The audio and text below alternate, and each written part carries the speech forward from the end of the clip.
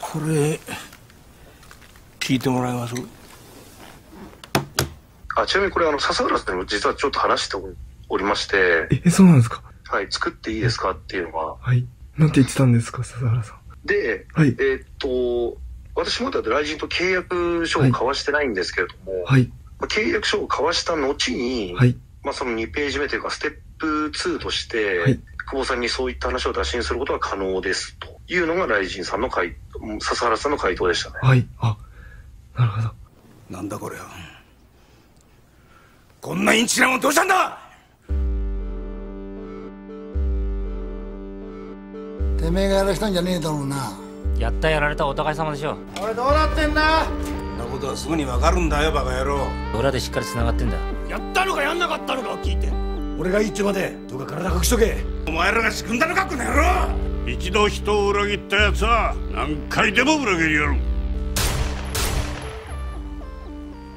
えー、まずは調子に乗ったオープニングを作ってしまってすいません、カナオです。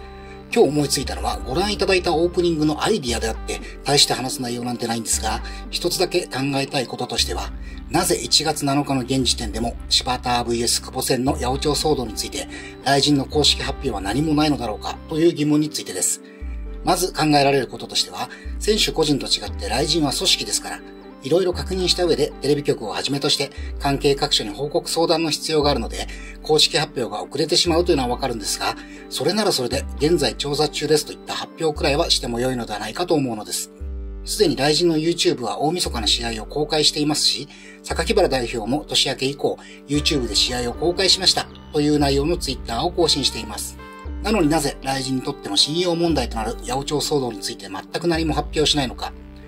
久保さんと柴田さんの音声データが公開されてからは、名前の挙がった広報担当の笹原さんや、雷神運営に事実関係を確認したいと思っているファンは多くいます。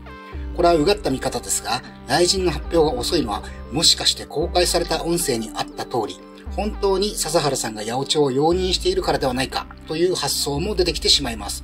本当は容認しているのに、大臣として不用意に公開された音声データの内容は柴田さんの嘘ですと表明してしまったら、今度は柴田さんからカウンター的な形で、笹原さんと連絡を取り合った音声データやスクリーンショットを出されてしまうから、うかつに動きが取れないのでは、という性格の悪い推測も出てきてしまいます。ただ、この想像の問題点としては、それならそれで、とりあえず事実関係を確認中です、という発表をして、ファンを安心させれば良いわけで、年明け1週間経ってそれすらないのはなぜなのか。これはちょっと納得できる理由が思いつかないので、もしかしたら雷神はファンの想像を超える発表をしてくるのではないかと思ってしまいます。この動画をご視聴いただいている皆さんの予想もぜひコメント欄にお書きください。参考にさせていただきます。それではまた今度ね